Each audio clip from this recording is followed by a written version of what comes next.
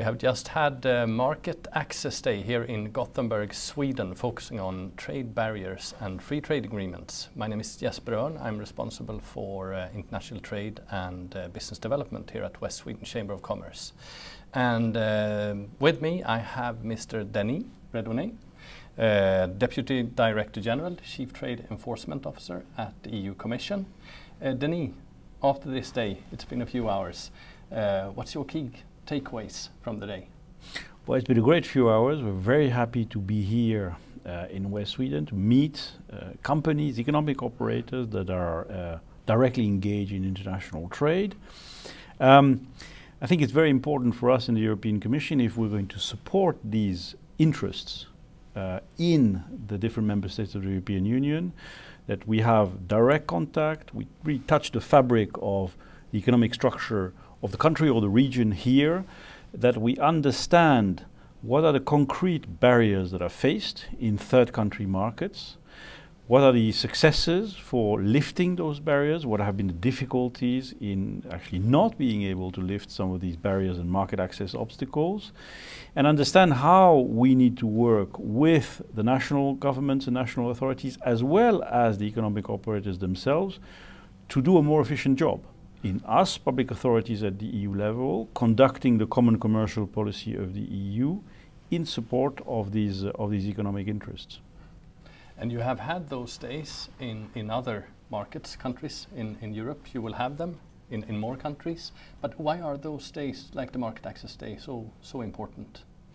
Uh, because it enables us uh, in, in, in geographically determined areas to really understand what are the needs what are the priorities, what are the priority markets, what are the priority sectors, and therefore adapt our support to these priority markets and priority sectors, which are not the same across Europe, obviously.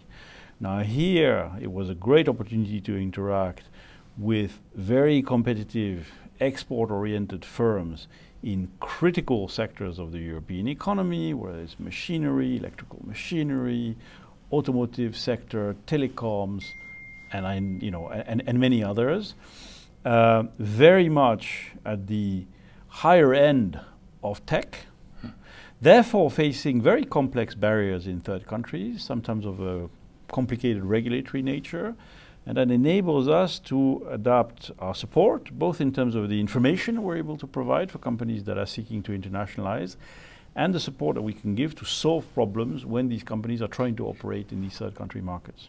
And here with me I have Getinge and uh, Ms. Niklasson. You discussed in the panel various things, but what would you say? What are your key takeaways? Well, I would say just being here, sharing experience, sharing information with many of the other companies, with public bodies, with the uh, uh, with the European Commission, is extremely important for us uh, to benchmark the the problems and challenges we see on global markets, uh, but also addressing them in terms of finding solutions uh, with the with the implementers uh, as the Commission. Would you see that we could have an efficient dialogue between the industry and company like Getinge and the EU Commission? Well, on many different levels, I think the Swedish government has provided a number of opportunities in, in, in trade groups, high-level roundtables, those kinds of opportunities where we as companies can come in and, and sort of speak speak about the issues that, that we are facing and speak about the reality, speak about the success stories as we heard today as well, which is also very important. It doesn't always need to be challenges. It could also be learning from other companies having done something really well. Um, but I think for the for for you as an uh, as an association for for the Swedish government, uh, there is a coordination function here um, and a constant dialogue with the private industry um, that needs to be put in place, um, I think, in a, in a more sustainable way. So good opportunities ahead for, for enhancing that dialogue. So now we will continue with another company participating, uh, who has participated in the panel. Actually the biggest company in, in Sweden, uh, but based here, of course, in, in West Sweden, Gothenburg. Uh, together with me I have Miss uh, Susanne Jannesson at uh, Volvo Group. Um, Susanne, after this day, uh, what's your key takeaways? I think it has been a great day. And it has been so valuable to listen and to interact with both the EU Commission and other industries. And uh, following up on that, uh, days like these, I mean, this is one day, but why are they important for a big company like Volvo, even?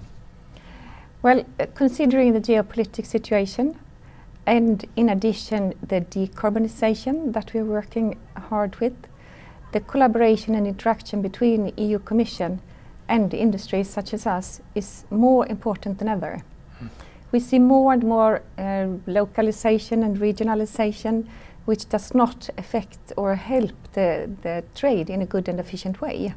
So we really need to have this collaboration to secure that we can drive and push the trade uh, towards free trade agreements, towards uh, level playing field, uh, and in a good and efficient way.